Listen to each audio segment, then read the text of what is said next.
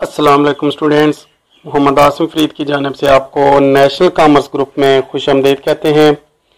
Students आज हम business statistics में चैप्टर इंट्रोडक्शन ऑफ़ स्टैटिस्टिक्स का topic subject matter of statistics को डिस्कस करेंगे। और उसकी आगे फर्दर जो टाइप्स हैं, वो डिस्क्रिप्टिव स्टैट्स और इन्फ्लुएंशियल स्टैट्स इसको हम डिस्कस करने जा रहे हैं। तो I com part one B com part one और ए डी कॉमर्स में ये सब्जेक्ट आपको देखने को मिलेगा। तो बढ़ते हैं अपने टॉपिक की जानब और देखते हैं टॉपिक हमारा क्या कहता है। Students subject matter of statistics यानी कि हम जो स्टैटिस्टिक है, वो किन किन चीज़ों का वो मैटर वो करता है?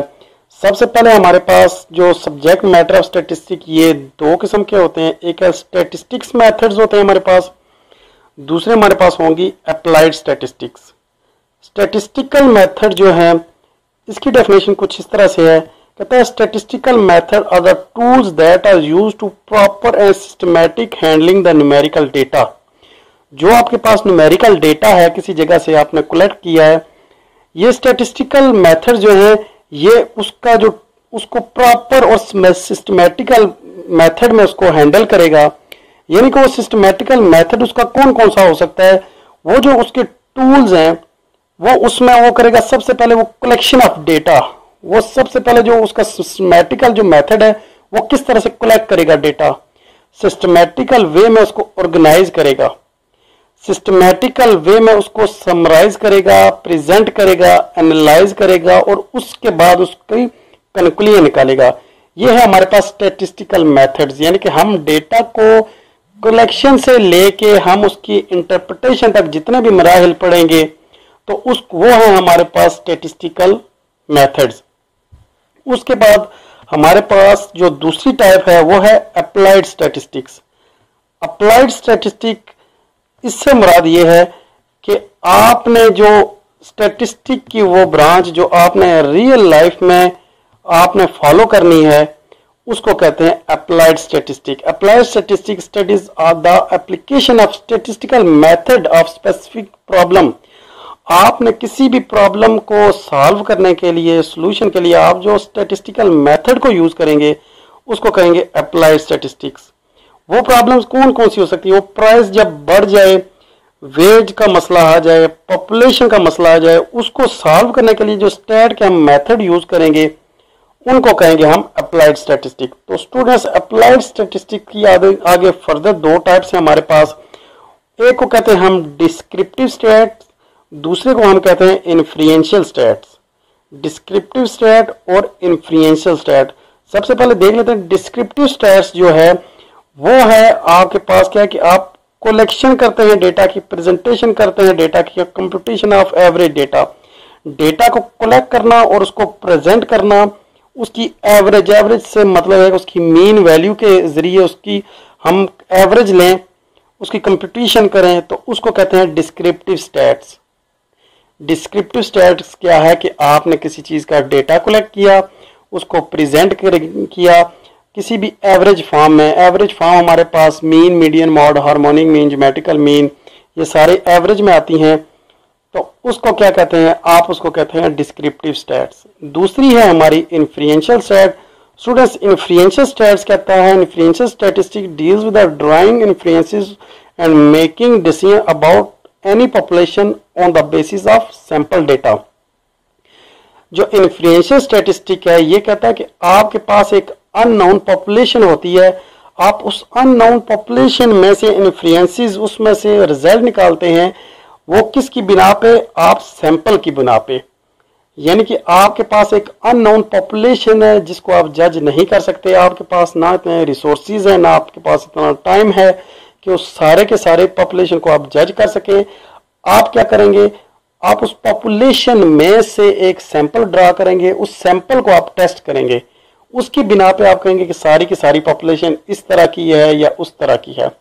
मैं अगर आपको एक एग्जांपल दूँ कि आपके अगर ब्लड में अगर आपने शुगर जिसम से चेक करनी है कि मेरी शुगर लेवल कितनी है या आपकी शुगर लेवल कितनी है तो आप क्या करते हैं? अपने जिसम में से खून का एक कतरा निकालते हैं।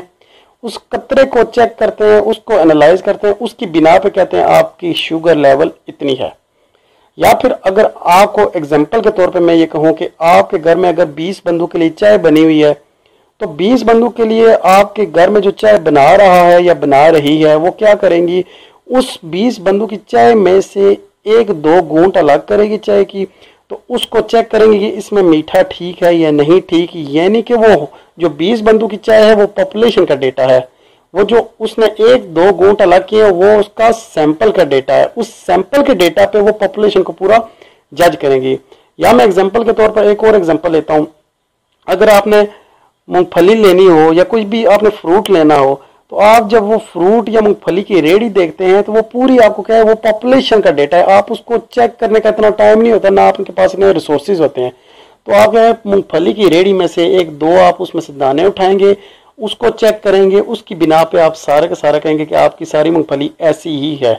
तो आपने सैंपल के बिना पे आपने पॉपुलेशन को जज किया तो स्टूडेंट्स ये जो है, ये इन्फ्रेंशियल टेस्ट जो है, ये आपके आपके second year third year fourth year master M Phil तक ये बहुत ज़्यादा आपके हर जगह पे यूज़ होगी। यानी कि आपने अननाउन पॉपुलेशन में से डेटा निकालना है, उसको जज करना है, उसकी बिना पे आपने कहना है, सारी की सारी पॉपुलेशन ऐसी ही है। तो स्टूडेंट्स हमने यहाँ पे दो वर्ड यूज़ किए हैं पॉपुलेशन और सैंपल बार बार हम यूज़ कर रहे हैं पॉपुलेशन और सैंपल तो हम देख लेते हैं कि स्टैटिस्टिक्स में ये पॉपुलेशन क्या है और सैंपल क्या है। देखते हैं कि पॉपुलेशन जो है population is defined as the totally of the observation with which we are concern population वो चीज़, ऐसी चीज़ का डेटा जो आपके पास बहुत ज़्यादा फॉर्म में हो, या उसको आप चेक ना कर सके चेक वैसे आप कर सकते हैं, लेकिन आप उसको बेसिकली चेक नहीं करते। क्यों नहीं करते? आपके पास टाइम पीरियड कम होता है और आपके पास रिसोर्सेज भी कम होते हैं। आप उस पूरी की पूरी पॉपुलेशन को चेक नहीं कर सकते। स्टूडेंट्स ये पॉपुलेशन वो वाली नहीं है जो हमारी आबादी की पॉपुलेशन है। ये किसी भी चीज़ के बारे में जब आपके पास रा फॉर्म में ज़्यादा से ज़्यादा डेटा हो तो उसको कहते हैं पॉपुलेशन वो कोई भी चीज़ हो सकती है। वो आपके पास मूंगफली की, जैसे मैंने एग्जांपल दी है, आपके पास एक चावलों की देग हो सकती है, जिसमें से आप वो पूरी की पूरी आप अकेला बंदा टेस्ट नहीं कर सकता। वो क्या करेगा? वो सैंपल आप उसमें से उठाएँगे। यानी कि आपके पास कोई भी चीज़ जो टोटली फॉर्म में है, जिससे आपको कंसर्न है, वो पॉपुलेशन है। यानी कि अगर मैं एक, मैं बजाते खुद टीचर एक मैं किसी जगह पे जाता हूँ, किसी स्कूल या कॉलेज के बच्चों को टेस्ट करने के लिए कि उनको कैसी पढ़ाई उनको कराई जा रही है तो मैं 40-45 जो बच्चे बैठे हुए हैं, वो पॉपुलेशन है। मैं हर एक बच्चे से हर चीज़ नहीं सुनूँगा। मैं रैंडमली किसी तीन चार बच्चों से कोई क्वेश्चन पूछूँगा, जिसकी बिना पे मैं कहूँगा कि सारी की सारी पॉपुलेशन हमारी इस तरह की है। तो पॉपुलेशन क्या होगा? हमारे पास टोटली जो हमारे पास ऑब्जर्वेशन होंगे टोटल ऑब्जर्वेशन होंगे, वो हमारी पॉपुलेशन हो जाएगी। उसके बाद हम देखते हैं कि हमारे पास जो सैंपल है सैंपल क्या चीज़ है? कहते हैं कि sample is the representative part of the population sample क्या है? सैंपल आपके पास जो पॉपुलेशन है, उसमें से जो आप पार्ट उठा रहे हैं, उसको कहते हैं सैंपल। यानी कि जिस चीज़ को मैंने एग्जांपल अभी आपको दिया क्लासरूम की क्लासरूम में अगर 50 बंदे बैठे हुए हैं, बच्चे बैठे हुए हैं तो वो आपके पास पॉपुलेशन की एग्जांपल है। उसमें से आप एक दो उठाएँगे, वो आपके पास सैंपल है। पॉपुलेशन में से सैंपल उठाना। मैंने आपको शुगर की एग्जांपल दी। शुगर लेवल आपके जिसम में खून बहुत ज़्यादा है, आप सारे के सारा खून नहीं निकालते। आप उसमें से एक ड्रॉप निकालेंगे, उसको टेस्ट करेंगे। यानी कि पॉपुलेशन हो गया आपके जिसम का सारा खून, उसमें से एक ड्रॉप हो गया आपकी पॉपुलेशन वो आपका सैंपल चाय की एग्जांपल दी, वो बीस बंदों की चाय अगर वो एक बंदे ने बनाई है, अगर वो सारी खुद पी जाएगा तो बाकी क्या पियेंगे? तो वो बीस बंदों की चाय पॉपुलेशन है। तो उसमें से आधी प्याली एक दो घूंट निकालना, वो उसके क्या हो गया, वो सैंपल हो गए यानी कि बीस बंदों की चाहे वो पॉपुलेशन उसमें से एक दो गोट चेक करने के लिए निकालना, वो उसके सैंपल हो गए।